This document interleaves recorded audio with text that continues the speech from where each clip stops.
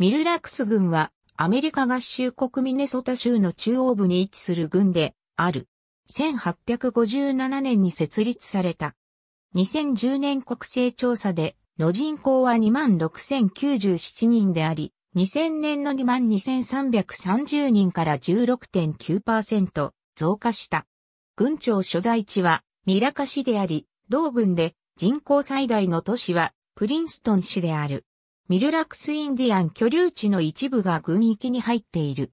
ミルラクスはフランス語で千の湖を意味しており、ブレーナード湖水地帯では最大の湖であるミラックス湖から取られた。この地域はフランス語でペイズでミレラックスと呼ばれている。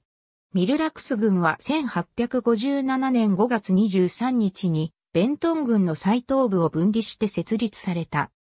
当初の領域はラム川の西支流から東側の現ミルラクス郡領域と現在は東隣のアイサンティ郡内にある二郡区より構成されていた。1858年、現在のミルラクス郡南側10郡区とアイサンティ郡、北西部2郡区、合わせて12郡区が、ベントン郡とミルラクス郡から切り離されて、モンロー郡を形成することになり、北部のスクエアトップノットと呼ばれる地域がミルラクス郡となった。1860年、モンロー郡とミルラクス郡が合併した。その後すぐに南東部の2郡区がアイサンティ郡に移管され、現在のミルラクス郡域ができた。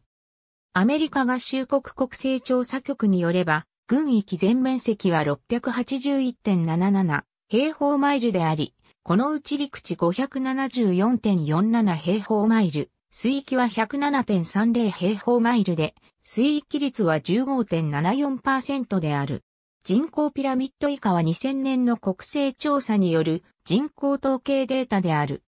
プリンストン市の小部分がシャーバーン郡に入っている。エストビルはベントン郡にあり、小部分がミルラクス郡に入っている。ありがとうございます。